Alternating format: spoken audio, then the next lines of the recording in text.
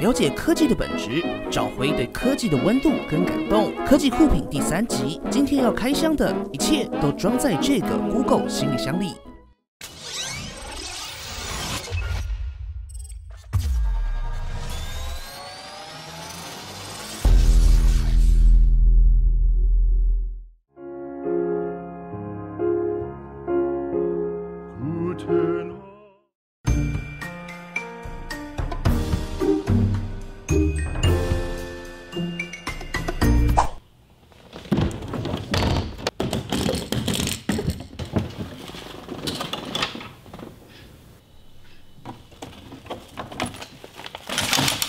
打开行李箱，首先，这是一款邦尼觉得只要有电视的地方就必备的科技产品。这次要来开箱的是邦尼期待已久的 Google Chromecast 二零一八。时隔三年，Google 终于再一次更新了这个伟大的产品线。在外观设计的部分，基本上还是保留了 Chromecast 近几代的经典圆形设计，上面还有一个近期很常出现的 G logo。主体直接连接着一条一体成型的 HDMI 线材，并且随附了一条 Micro USB 线材的铝充。整体来说，设计的一体性还是相当高，质感也不错。虽然是长时间放在电视后面也看不到啦。在安装上非常简单，只要将本体的 HDMI 线材插入电视后，再将电源接上另一端就完成啦。而在输入上，只要五 VEA，基本上是可以直接插上电视的 USB 接孔供电。如此一来，也会随着电视开关机。整体来说，在设定上还是相当简单方便。如果还不知道什么是 Chromecast 的观众，我等简单说明一下。Chromecast 呢，是一款能够让手机上的小荧幕瞬间变到电视大荧幕的一个装置。以 YouTube 来说，只要安装完成后，将手机跟 Chromecast 连接到同一个网络，就会在播放影片的时候看到这个 icon。接着只要按下去，刚刚在手机上的影片就会瞬间跑到大荧幕上开始播放。重点是，你发现了吗？荧幕在继续播，但手机还是可以继续做其他事情。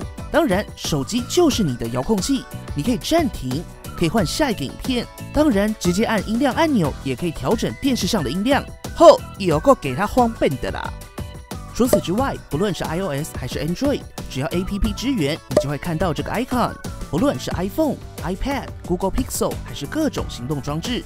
不分品牌，不分平台，不需要硬体支援，基本上大部分的机型都是支援的哦，这才是最方便的地方。而 A P P 支援度呢，基本上你熟悉的 YouTube、Netflix、KKBox、Spotify、KKTV、Facebook 都可以，更不用说 Google 自家的 A P P，基本上全数支援。如果不支援的应用程式，也可以透过 Android 装置将画面同步显示到电视上。虽然画质在 4K 电视上表现普通，但还是够用。所以以后只要看到这个 icon，Facebook 点一下投上去，YouTube 点一下投上去，Netflix 点一下投。看到这边还没完呢，Google Chromecast 除了可以投手机，也可以投电脑。只要将电脑连上同样的网路，打开 Google Chrome，点击设定三小点啊，不是，选择投放，哈哈，神奇的事情又发生了。这时候就可以将现在看的网页及时投到电视上。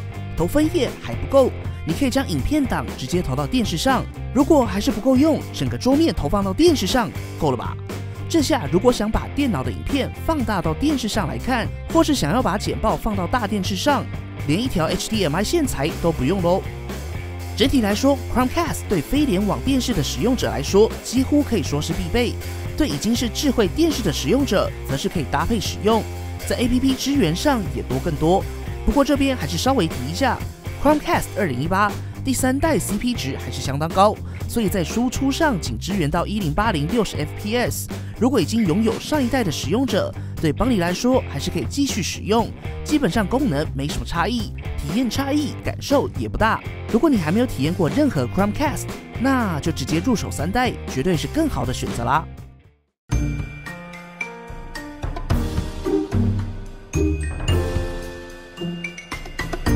第二个要介绍的是由 Logitech 所推出的 Crayon，这是一款专为 iPad 二零一八跟教育市场所打造的触控笔。Apple 更是在发表会上介绍过它，在命名上也蛮有趣的哦。Apple 推出了一支 Apple Pencil，而跟苹果合作的逻辑则是以 Crayon 蜡笔作为命名。先来看一下外观，首先在用料上就可以看到，跟 Apple Pencil 有很大的不同。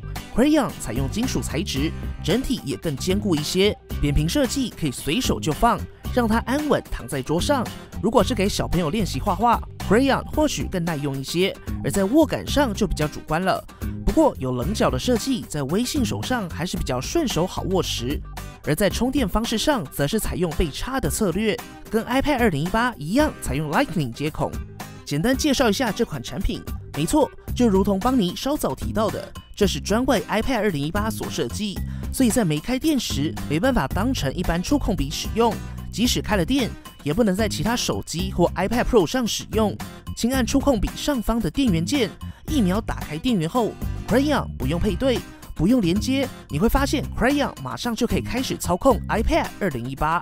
在邦尼的理解中，Crayon 就是平价版的 Apple Pencil，只要 Apple Pencil 有支援的 APP，Crayon 就能支援。比如要在 Word 里面加入一张手绘草稿，想要在 Adobe Photoshop Sketch 上来一个简单绘图，Crayon 几乎可以完美的支援 Apple Pencil 有的功能。例如把手直接放在 iPad 上绘图，不用怕误触。精确度可以达到以点点作画，跟手感也还算及时。不过 Crayon 跟 Apple Pencil 是否存在差异呢？当然有，Crayon 不支援绘图笔最重要的精髓——压力感测，所以不会因为用力程度的不同而有不同的笔触。这点虽然稍微可惜，但 Crayon 则是支援倾斜感测，这跟画笔一样，正着写的时候是比较细的线条，随着角度不同越来越粗，甚至越来越淡。在操作上其实也还算直觉。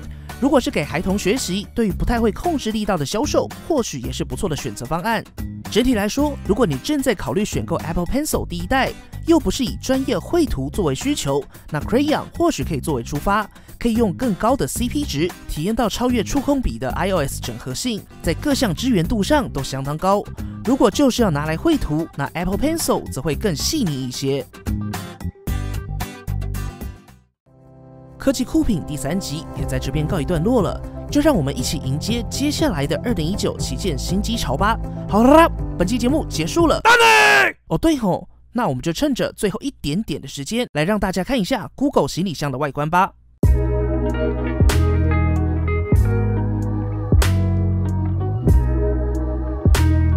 只要是新东西、新科技、新想法，都别忘了在底下留言告诉邦尼。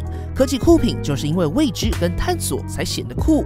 期待我们下一次的科技酷品开箱吧！科技酷品总是新奇，想看酷品来看邦尼。好啦，本期节目真的结束了，不要忘记右上角对本期产品进行投票，或底下留言告诉邦尼团队，你还想知道哪项功能或想看的产品测试。对了，快点到 Facebook 私讯邦尼邦尼的粉丝专业，找邦尼 AI 小助理玩吧。如果喜欢本期的节目，不要忘记订阅邦尼邦尼，并且追踪我们的 Facebook、Instagram，以及加入 Line at 跟我们讨论。如果还有其他问题，别忘了底下留言。那我们就下期影片再见喽。